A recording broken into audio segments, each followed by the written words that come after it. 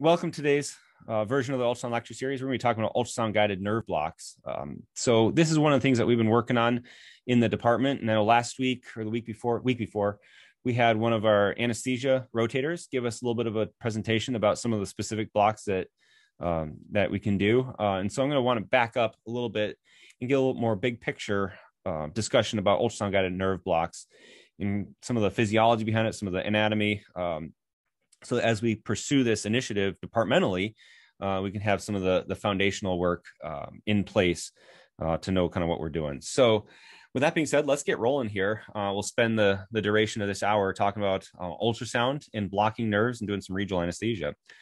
So let's pretend that we're working uh, in the ED. I guess it could be Main, it could be West, but probably West because that tends to be the the, the less acute area, right? Uh, and we see a patient who comes in that looks like this, right? So the um, not a terribly uncommon presentation. You know, someone got mad, they punched a wall, um, and the wall won, right? So we have a boxer's fracture.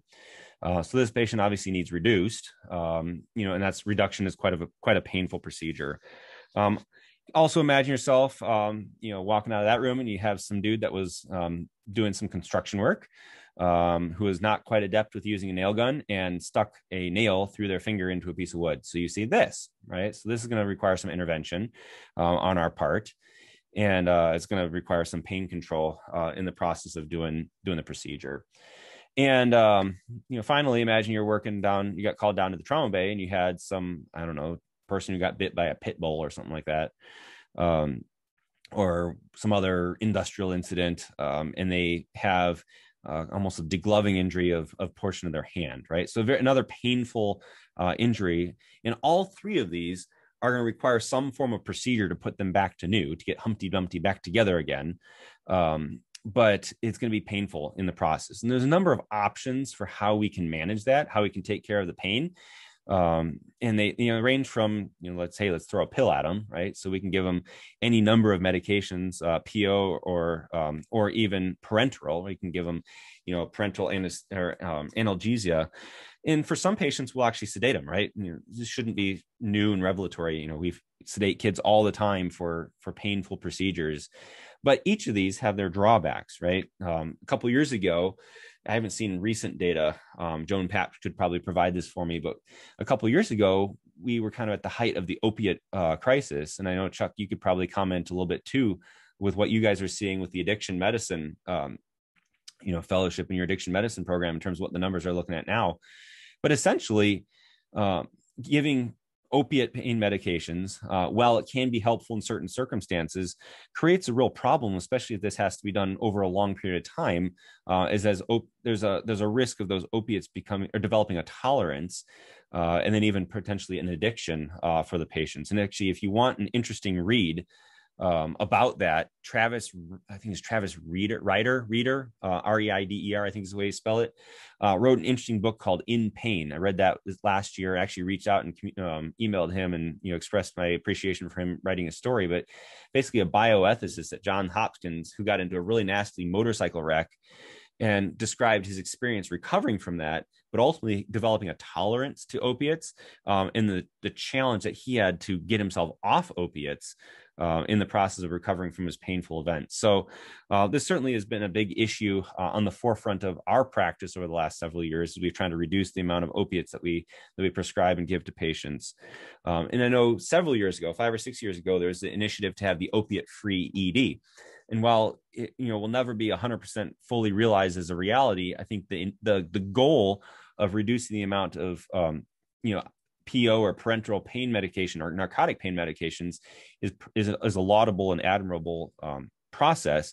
And so there's a lot of options that we can give, whether it be IV lidocaine, low dose ketamine, you know, some of these non-traditional clonidine, gabapentin, pregabalin, um, you know, medication or trigger point injections, or now that we have nitrous, op- you know, opportunity, um, and ED West, or even regional pain, regional anesthesia, which is kind of the the approach that we're going to take today, uh, as we seek to find safer ways, um, non-narcotic ways of, of treating patients' pain uh, in the ED, particularly for acute pain. Um, this will be less so for chronic pain, but particularly for acute painful procedures. So, with that being said, we're going to talk about ultrasound guided nerve blocks uh, over the course of the next um, you know time that we have together. Uh, got no disclosures to to make.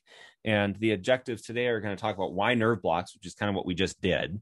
Um, talk about nerve anatomy a little bit, uh, fundamentals of nerve blocks, you know, all things that will prep us then to discuss a few peripheral blocks that we're going to do uh, that we can do easily in the forearms. And over the course of the next, you know, several months and year or so, um, you know, unveil some other, you know, bigger, uh, bigger blocks. And I've been starting to do some more of these in the ED. Um, and they're quite fun, right? And they've also you can have a profound effect. We had a couple rib fracture patients we did, and one of them, um, you know, is I think a recent holiday, whatever, um, you know, took a tumble due to some um, iatrogenic inebriation, um, and had a rib fracture and a small pneumo, and so we figured this is a pretty pretty easy um, block to do in that there was lo- not a lot of complications because she already gave herself the pneumo and we did a serratus anterior block and she had pain control before we even got the needle out and so it was quite impressive you know how how much improved the patient was um, you know in the short duration of time that we were able to block her and and, and help her out. So with that being said let's move forward here. So the idea of a nerve block right? Big picture if we think about like fundamentally in an elevator pitch what are we doing right?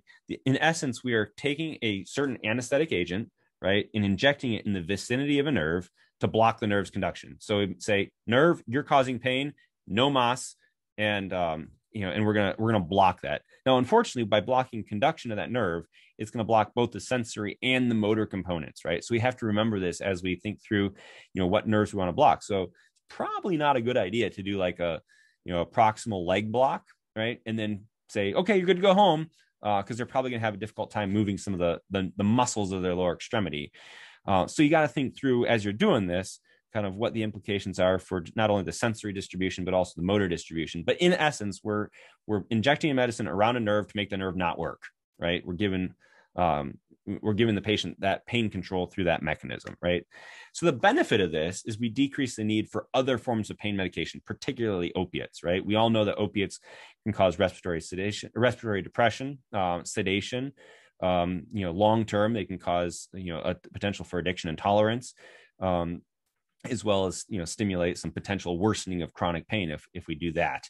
Um, and they're just for acutely painful procedures not terribly that effective right? You know, i've never was satisfied when i had a boxer's fracture just loading them up with the dilaudid and then pulling on the thing. They still are yelling at me um, you know just as badly as if i didn't. So uh, decreases the need for opiates and it also will decrease the need for procedural sedation. So while this takes some time to do right um, in aggregate, it should take less time to do the ultrasound nerve block um, than it would take to get a nurse, go to a room, do your sedation, recover the patient, bring them back, and kind of the whole rigmarole of what that entails. And so um, there will be a time saving as well as a potential complication sparing aspect um, to doing fewer sedations and that we don't have to worry about respiratory depression and things to that effect. Right. Now, we oftentimes do these under, well, we always do these under some form of guidance, right? Whether that be landmark guidance, where you read Roberts and Hedge and say, if you find this bony protuberance, inject at that site and it will block this nerve, right? Uh, or um, the, you know, the formerly traditional way is find some nerve stimulator, right? Try to stimulate that nerve, look at the, you know, the profile that you get on the nerve stimulator and say, yep, I'm there. And then inject your, your, your numbing medicine right around that area. Um, I don't have that. I've never trained on that. I don't do that. Um, so that's kind of a not an option for me. So the, the, the best option that we can propose, and I guess the the reason for the rest of this talk, um, is basically to say ultrasound is going to be a good way of guiding the the um, procedure, because not only can you see the nerve, but you can also see the needle. You can see your fluids going around the nerve, and really know that you were at the right place. You didn't inject into a vessel. You got the blood the the anesthetic agent right where you need it. Um, and you really can target that nerve and in essence um, have a more targeted um, um, i guess nerve block than you than you could with just landmark alone. So if you did landmark alone again this has been historically what we've done as a practice right um, but there there can be some problems with that um, since you're going in blind you can't see what exactly what you're poking through and into um, so there's the risk of nerve injury, right? There's a risk of causing some nerve ischemia. So if you do an intraneural injection, um, you can almost create like a small compartment syndrome in that nerve where you increase the interstitial pressure uh, of that nerve, and then you decrease your diffusion capacity of all the capillaries that supply that nerve and create a little bit of local nerve ischemia. So there's that's a potential problem, right?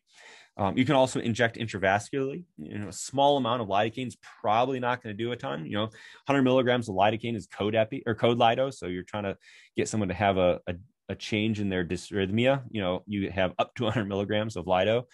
Um, so if you're using that agent, probably not a big bad or not you know untoward in terms of complications. But bupivacaine is you know quite cardiotoxic, and so if you get that intravascular, that's a big deal. Um, and so in general, when we're doing this procedure, we don't want to put the, the anesthetic agent into the vessel. Um, additionally, you can cause a hematoma formation, whether it be in the nerve or in the surrounding tissue, right? Uh, if you poke through a nerve, you poke through a blood vessel, um, that all of a sudden now is a, a, place where it can leak and cause a hematoma, um, can you know complicate your procedure. And then obviously, you know, if you don't get it in the right place, that that injection could just be plain old ineffective. You just you basically anesthetize some subcutaneous tissue or muscle tissue, but didn't hit the nerve that you want. Um, so there's a couple different reasons why you may not want to do blind, um, which leads us to the ultrasound guidance, right? And so here's an example where you can see actually the needle and it's depoting a bunch of fluid right around that nerve, right? So if we look, uh, let's see if I can get my cursor over here somewhere, maybe not. Um, we can see the the nerve, you know, that bundle right kind of just to the right of the middle of the screen with that needle right underneath it, depoting that agent. Uh, so we get very much more targeted um, injection of anesthetic agent. So the benefits of doing an ultrasound guided nerve block um, are a number, right? It reduces the risk of injury to vascular structures, right? Reduces that risk of intravascular injection. Uh, so it's a lot safer, just to, you know, from that standpoint. Reduces injury to the nerve, so you can watch where that needle is and see it is in fact in the nerve or it's not in the nerve, right? Um, it reduces the risk of a compartment syndrome if you have to put a, a lot of a lot of anesthetic agents. Some of these, you know, large nerve blocks require you know 20, 30, 40 cc's of, of fluid. So it can reduce the risk of a compartment syndrome because you're using less fluid, right? Reduces the risk of that nerve compartment syndrome for sure. Um, it avoids further injury to the site. So you're not just blindly stabbing into something that's already injured. Uh, and the patients tend to like it a little bit better. If you use a smaller amount of agent in a very targeted way, uh, it's a lot less painful than just blindly stabbing around until you get get the effect that you want, right? Now, this is well supported in the literature. Um, there's a number of papers that are out there. These are just a representative sample. Um, you know, this is an ultrasound versus landmark for sural nerve blocks of the ankle, and they basically found that it you get a, a more complete block uh, and it lasts longer. It's a 2009 study saying better stu- better block lasts longer, right? Than than compared to landmark. Here's another one: a tibial nerve block um, you know, look at of the foot, um, ultrasound versus landmark, and they found it to be significantly more successful, 72% versus 22% uh, to get a complete block of the foot, you know, when you use ultrasound to guide it, right? Uh, 2015 study from some of the emergency people, right? So Arun Nagdev is one of the guys uh, who's out in the Pacific Northwest. He does a lot of ultrasound guided nerve blocks. Mike Stone's kind of got the ball rolling um, about 10 years ago, uh, or no, not quite that far, uh, about eight years ago uh, with ultrasound guided nerve blocks in the emergency department. And they basically were looking at forearm blocks, and they found better success with ultrasound um, versus traditional landmarks. You know, when they when they did their, their blocks, so it's highly effective, right? Something that can be very easily be done, um, give you a good effect. Now the question is, can we do this, right? Uh, so this is our credentialing package, you know, core one privileges, peripheral nerve blocks, right? So I'm going to define peripheral nerve blocks as anything that's not central nervous system, right? So any peripheral nervous system.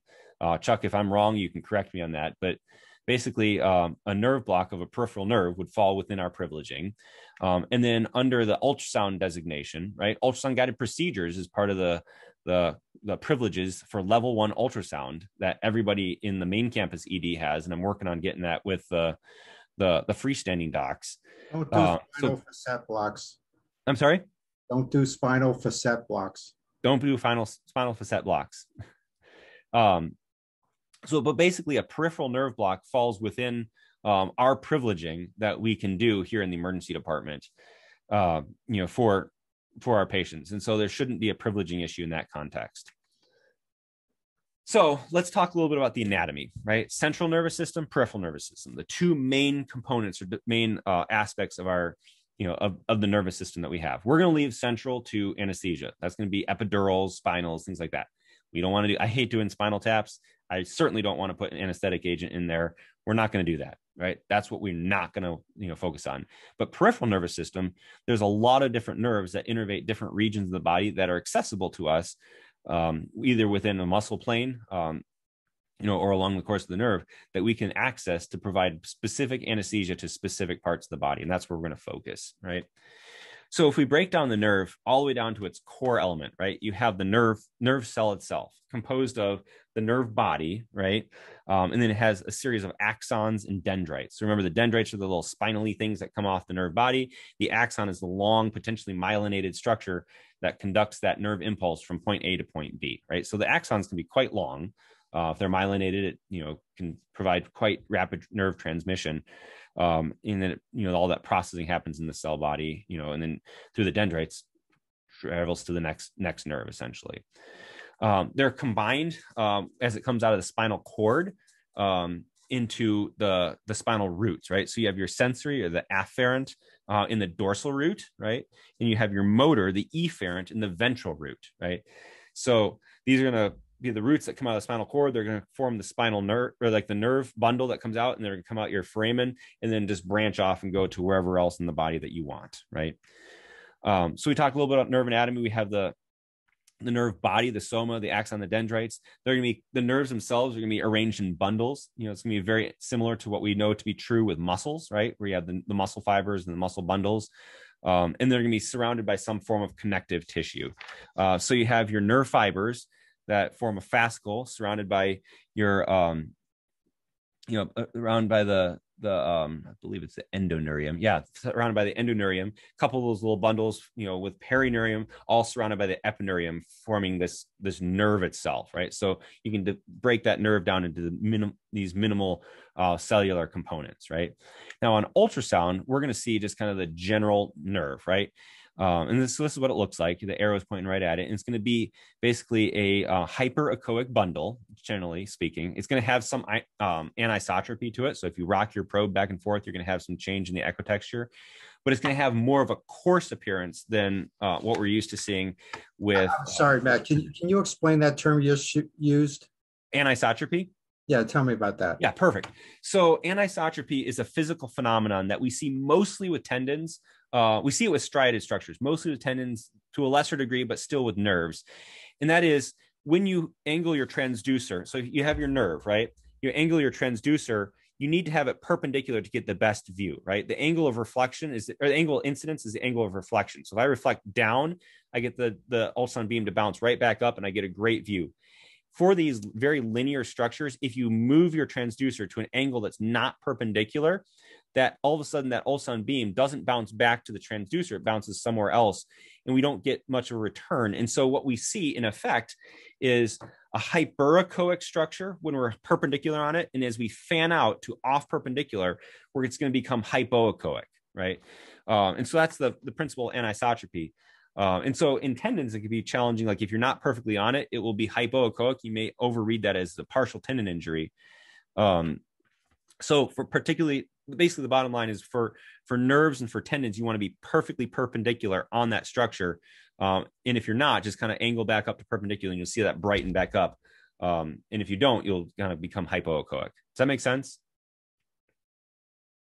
So, um, anyway, so yeah, thank you if you look uh, at the nerve itself, it's going to have more of that coarse echotexture than a than a tendon, right? Uh, and it's described as kind of this honeycomb appearance. So you see this triangular wedge uh, inside this, uh, or right at the tip of the, the arrow here, and this is basically the nerve. Uh, and that's going to be the appearance that it has, and oftentimes runs with blood vessels. So you'll see like the vein, artery, nerve, uh, but sometimes you'll have nerves that run independently between muscle layers um you know so things to look for in, in short axis it's going to kind of have this oftentimes triangular honeycomb appearance. In long axis, it's going to be you know striated. It'll be a little harder to see. It will be striated, much like a like a tendon would be. Um, you know, as you're looking at those.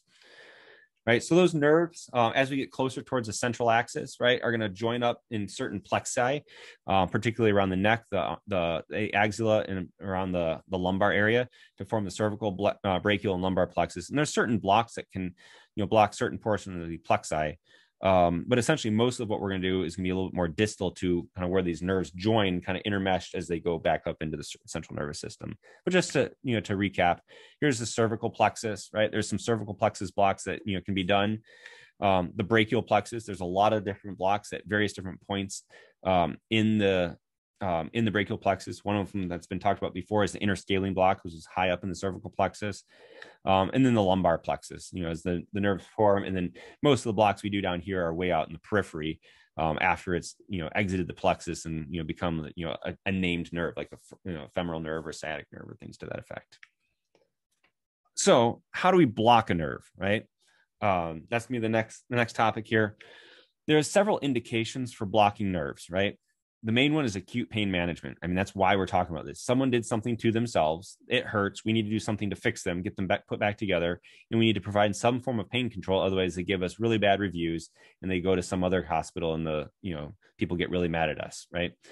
Um, so acute pain management, right? Painful procedures. These are indications to do the, the procedure. Uh, if for some reason someone's not a candidate for procedural sedation, perhaps a, uh, a nerve block would be a better option. Um, I recently had a patient who was severely traumatized, uh, and they had like an ASA classification that was off the charts. And ortho wanted to do a reduction. I'm like, no way.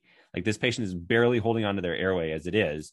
Like this is not going to happen. And I've had another patient who was like, if we're going to do a, a sedation on this guy, we're tubing him just because like I can't maintain that airway um, you know, with a sedation. So this may be an alt, you know, alternate way of being able to get the job accomplished uh, without having to to revert to a sedation if that's you know un, unavailable, whether it be from a staffing standpoint or from a you know patient um, comorbidity standpoint. And again, this is an alternative to providing a narcotic pain medication. Um, it's a way of providing a targeted approach to pain control for a limited period of time to do something to a patient and not having to use utilize other options or other resources, right? So contraindications, obviously, if they're allergic to the agent, don't use it, right? Kind of goes without saying. Um, you know, this is not the place where you're going to do your anaphylaxis challenge or you know give them a bunch of epi to prevent their anaphylaxis don't you know like um, if they're allergic don't do it. If they have an infection infection at the injection site you probably don't want to poke through that so you don't see a deeper infection right? If they have a high risk for compartment syndrome and you need to do compartment checks that may be a reason not to do it because you're going to get a pretty dense uh, anesthesia and the patient's not going to be able to tell you that they have pain that's worsening. So just as a as an aside, this has for a long time been a reason why we've had a lot of pushback in the department, particularly from orthopedics about doing blocks, right? They've been historically very hesitant to have us do these. Um, and you know, thanks to the leadership of Sam Tate when he was here, um, they made some inroads to to be able to do like fascia iliaca blocks on ortho patients after ortho has evaluated them. Um, but just be mindful, like if you have a risk or injury that's high risk for compartment syndrome, maybe not the thing you want to do, right? And certainly if they're anticoagulated, it's not a hard contraindication, but just think if you're if you have someone who's you know high risk for bleeding and you're poking something that is a as a relatively uncompressible site, that may be a reason why you you know may want to avoid doing a, a nerve block in that situation, right? So other complications that can happen as a result of the nerve block, right? Um, you can cause mechanical trauma to the nerve or to the surrounding tissues, right? Um, if you inject in and around the nerve, you can get some um, edema in the nerve um, or hematoma around the nerve, both of which can cause compressive effects. Um, like we talked about earlier, increase the interstitial pressure around the nerve and decrease the capillary diffusion um, and injure the nerve, right? And those are the pressure effects that we talked about. And obviously, um, you can give an, a toxicity of the particular agent that you're using if you're not careful with your dosing, and particularly if you get an intravascular injection, right? So, what equipment do we want? you know, essentially you're going to use your linear transducer, right? This is the high frequency, high resolution linear transducer. And it's basically the transducer that we're going to need to get the best resolution. Um, we don't need a lot of depth. We can do shallow because um, that's where oftentimes where these peripheral nerves are at, but it gives us a good resolution of the, the, the nerve and the surrounding tissue uh, and the needle so we can really get a very targeted approach to, um, to the patient as we inject them, right? From a equipment standpoint, obviously you're going to need a syringe and needles. Um, this is when I originally put this lecture together. This is what we had. Um, we have subsequently obtained uh, some special block needles, um, which are really cool. So we have a two inch and a four inch option. Um, so needles that are designed to be used for blocking um, nerves. So it's a needle attached to some extension tubing, uh, which is great. So what I've been doing lately is grabbing one of those, grabbing you know a, a syringe. So usually I've been doing some bigger blocks, like a 30 cc syringe with you know with my agent Um, and what's helpful is then you can use the needle with the extension tubing to get the needle where you need to go, and then have a partner um, do the injection uh, once you get to where you go. So you can really focus on your your transducer and your needle, get that targeted where you want to go, and then tell someone, okay, inject a little bit, inject a little bit, uh, so you don't have this big old clunky syringe just making it harder to to guide that needle. So you can get very much more precise uh, needle placement. Um, but you'll need some form of a syringe and needle. Uh, you'll need some form of um, a um, material to to sterilize the skin. Uh, if it's a superficial plane block, it doesn't necessarily have to be complete sterile, you know, technique. Although, um, you know, sterile is oftentimes recommended. So depending on the the the complexity of the block, like if it's a plane block, oftentimes what I'll do is I'll sterilize the skin and then just don't touch the needle tip to anything that's not sterile, right? So it's that portion is sterile, but I'm not necessarily in you know complete sterile getup. Um, oftentimes though what i'll do is put the the probe itself in a sterile sheath right? So we have sterile sheaths um, that are in the ultrasound cabinets. Um, so if you put this probe in that you sterilize the skin have the you know be careful with what you what you touch. Um, that's really going to be sufficient for a lot of these you know plane blocks. If you want to do you know sterile drapes and all that um, you know you know more power to you um, that's certainly a possibility but this is kind of the minimum necessary uh, equipment that you're going to need to do this block right so for local agents, there's a variety of different agents that we can use. Um, and the factors that you know make each agent different is going to be kind of what you use to decide you know what you're gonna what you're gonna use for the patient. So, in essence, uh, just talking about depolarization, we know that depolarization is basically dependent on sodium movement, right? So you have your your nerve that's primed, right? There's gonna be some you know you know depolarizing potential that's going to happen, right? It's going to trigger those sodium channels to basically open up, and you're going to have a massive inrush of sodium from the extracellular space to the intracellular space. It's going to cause that depolarization, and that causes the next, you know, the next tier to depolarize, and then you know so on down the line. And your sodium potassium ATPase pumps um, will then reset that that sodium and that potassium um, distribution on the extracellular and intracellular respective you know sides uh, to set you basically up for your next action potential right? So it prevents um, so what these agents do is they're sodium channel blockers that basically prevent that sodium channel from opening up. So you'll get some of these depolarizing potentials that happen. Use the next slide here. Where you can see these depolarizing potentials that happen you know one two three four and you know obviously not five. Um, and if you block your sodium channel, those depolarizing potentials won't then translate into basically a, a, a nerve depolarization, and you'll you won't have that nerve stimulus that's passed. Uh, so that's essentially the goal of what these agents are going to do for us. Now, from biochemical standpoint, it's basically an aromatic moiety and a hydrophilic uh, segment that's going to be linked either with an amide or an ester linkage, and that's going to be all the different agents. And how you affect these, you know, these moieties that are on either side is really going to determine what the agent is, um, and then you know what effects those agents have. Now, there's other factors that affect the ability of the agent to work. So that's the the pKa, um, which needs to be close to body, you know, body um, pH. Um, the protein binding, right? So some of these agents can be more bound to protein than others, um, so which is why you know you may have a, a, little bit more of an exaggerated potency in pregnant patients with you know the the change in the the protein binding. Um, and then the hydrophilic hydrophobic nature of the agents you know they have to get through the lipid bilayer to be able to work um, so you can adjust that to affect the, the effectiveness. So all that to say there's a number of different agents that are used. Um, you know so you have procaine which is a very short acting you know lidocaine which we're really used to um, relatively short acting um, and then you know longer actings right? So your bupivacaine and the one that we have stocked here is ropivacaine uh, but either of them have a similar duration of action. Um, so it takes a couple minutes to start, but then can last you, you know, eight, 12 hours, you know, you know, from the time of injection. So depending on what you want to do, if you're just doing a quick procedure, you just want something quick like lidocaine, which is quick on, quick off. Um, but if you want some lasting pain control, you may want to add in a bupivacaine.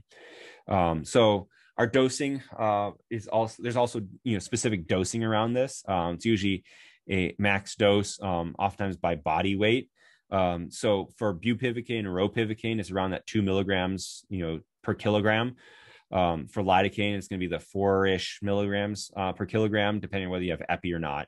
Um, so as we're getting into larger injections, you have to start doing some calculations in terms of what your patient can tolerate. So your average 70 kilo person, you know, getting bupivacaine, you can tolerate up to about 140 milligrams, um, which in our, you know, basically you'll see in our vial, you know x percent concentration uh, X equals X many milligrams. And then if you need uh, more volume, you can dilute that out with saline um, to give you the total volume that you need to give. So you do have to be careful with your dosing in terms of the amount that you give. So toxicity, what happens if we give this in the wrong place or too much of it?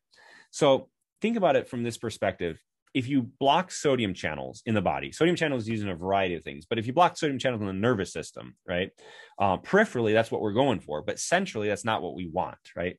So if we block that, we're going to start with some kind of restlessness, disorientation, tremor as we kind of approach that toxicity range, and then obviously we can, um, you know, create seizures, right? So you're you're blocking some of the uh, the inhibitory neurons, right? Um, that you know allow seizures to start breaking through. And then as you get further and further blockage of your sodium channels, we're going to start blocking the, the, the neurons in the brain, right?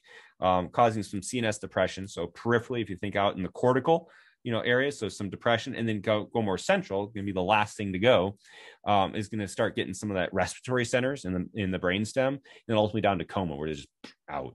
Um, so there's kind of this this degree of toxicity that you may see at least from a neurologic standpoint. If you switch over to the heart that's going to be the other main organ system that's going to be affected um, think about the same way. You're blocking sodium channels and so what do sodium channels do? They allow they allow action to potentials to happen um, inside the heart. So you're going to initially see uh, some decreased electrical excitability right? So you'll see decreased inotropy and chronotropy uh, in your patient um, and then from a vascular standpoint, you'll see some vasodilations. You can't hold that vascular tone. Um, and it's going to be, you know, at the end game, you're going to see some dis- uh, conduction disruptions, right? So you're going to basically, your pacemakers aren't going to work so well, you know, precipitating all the way out to arrhythmia and then death, right? Is kind of the spectrum of toxicity uh, from a cardiac standpoint. So how do you treat this, right? Benzo, benzo, benzo, benzo, benzo, benzo, benzo for um, for patients who are having seizures. Uh, if you need, um, you know, further things that benzos don't work for, or if you need further control, you know, propofol uh, would probably be your next bet for seizures.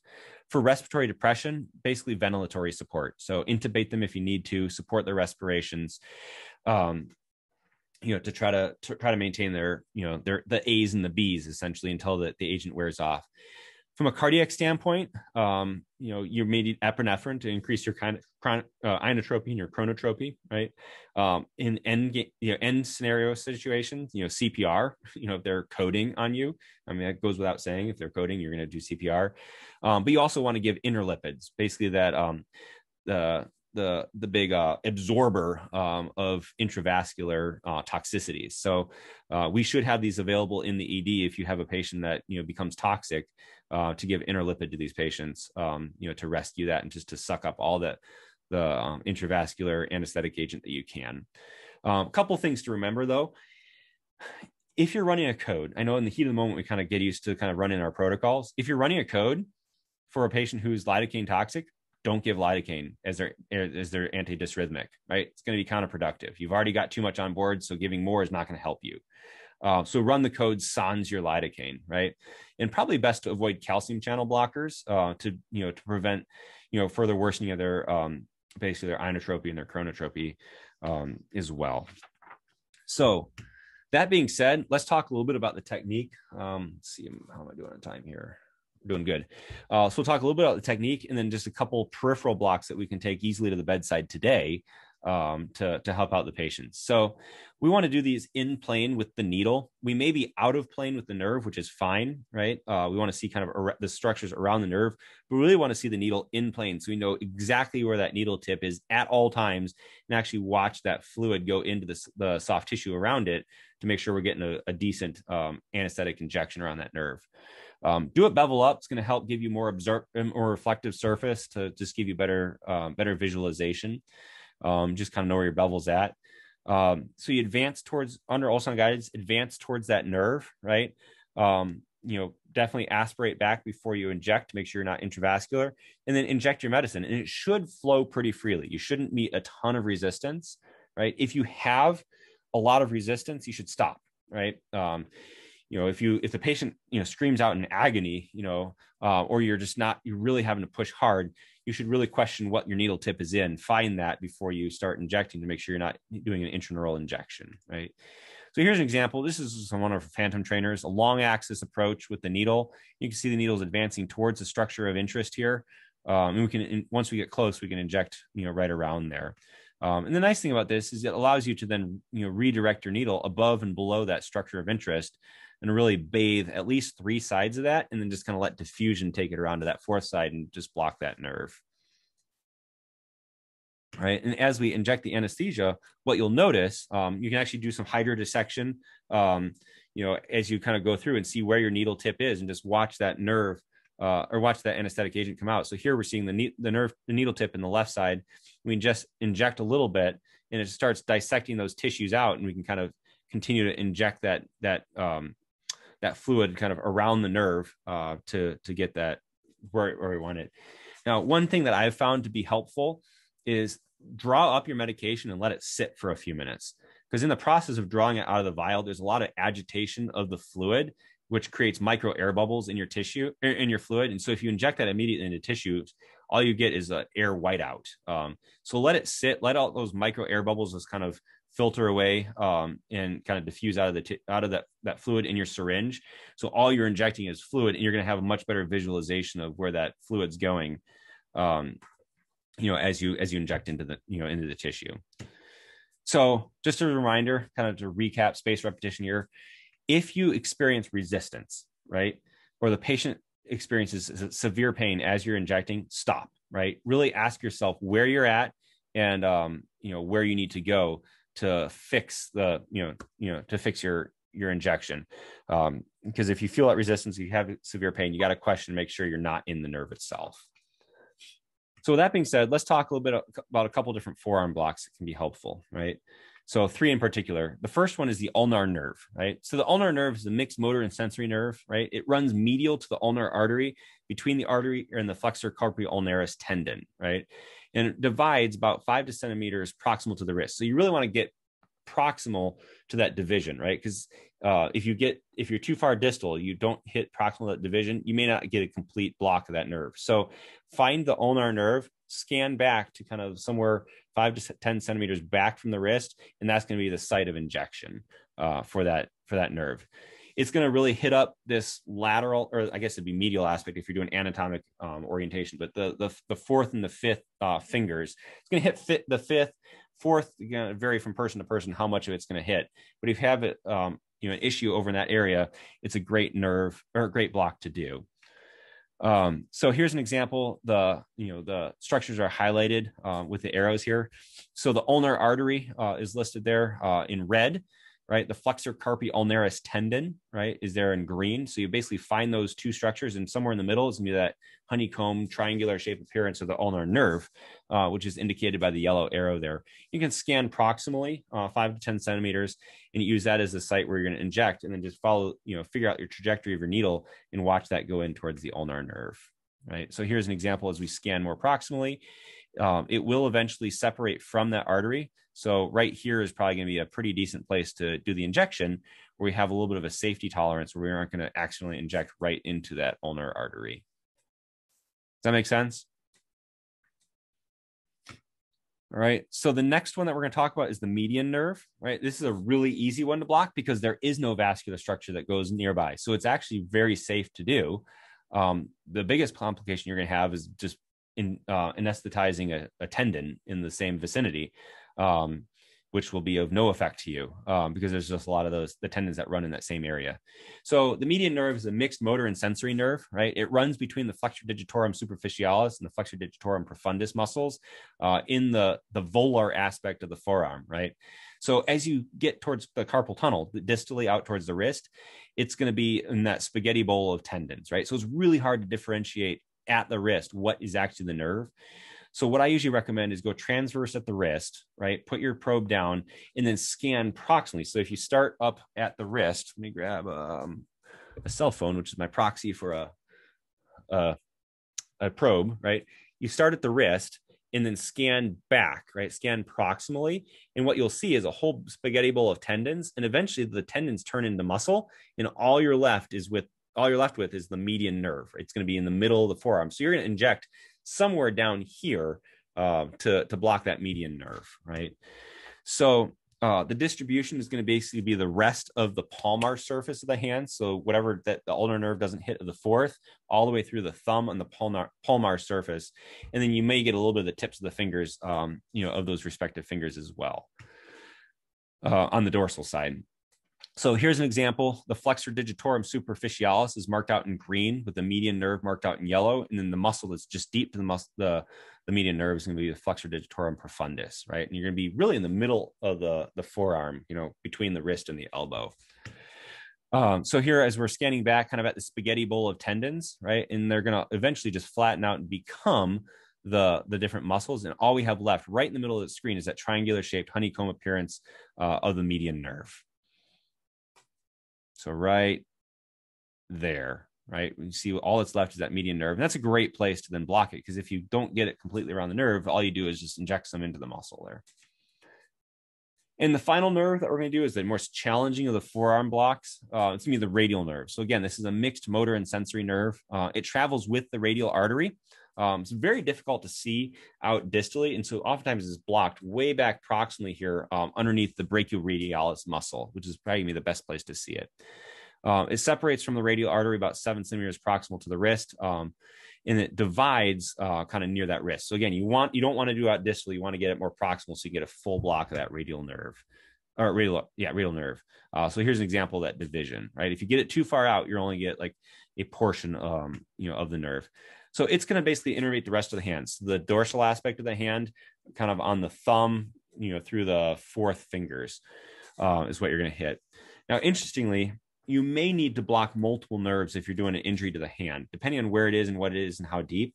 Um, I had a patient with a foreign body removal years ago that was like square in the middle of the hand. So I blocked one of them. I think I blocked the, the median um, and their pain on the palmar surface got better, but then their pain transferred to the, the dorsal surface of their hand. And basically, because I left the radial nerve unblocked, right? Um, so if you do, you know, stuff on the palmar surface, the median should be fine. If you do stuff exclusively on the the um, dorsal surface, the, ra- the radial should be just fine. But if you have something that could be hitting both, you may need to block both nerves. Uh, just keep that in mind. So here's a scan um, or the the ultra or the sonographic anatomy. So you can see the radial artery um, as listed in red there, the brachioradialis muscle kind of in green, and the radial nerve just adjacent to that, um, you know, listed out in yellow. Uh, so as we go real time, you can see the, the artery. Um, as we scan around, you can see that nerve just to the left of it. Uh, it's a lot harder to see, but here it's going to start separating a little bit. Um, loop back in kind of towards the end of this clip, you can see it starting to separate out just a little bit. Um, but it's right underneath that brachioradialis muscle, and that's going to be where you want to inject your anesthetic to block this nerve. So let's see. So just to recap here, um, nerve blocks are great adjunct to our pain control armamentarium. It's a tool, good tool to have in the toolbox. It decreases the dependence on um, PO or parenteral medications, uh, can increase the patient satisfaction, kind of decrease our throughput times potentially if we don't have to do a sedation, certainly decrease, decrease our um, our staffing utilization if we don't need to you know grab an extra room grab an extra nurse um, it allows us to depot an anesthetic agent around that nerve right um, to get a very much more targeted approach to to the patient uh, probably a good idea as we're doing these uh, particularly for large volume blocks and uh, proximal blocks to have them on a monitor so we can monitor them. Some of these peripheral blocks probably not as important, uh, especially if you're using like a small dose of lidocaine. Uh, but as we get the 20, 30, 40 cc's of something, you know, more proximal in, um, you know, putting them on a monitor is not a bad idea to monitor for our toxicities. Remember that ranged from restlessness to seizures to, you know, CNS depression um, to coma.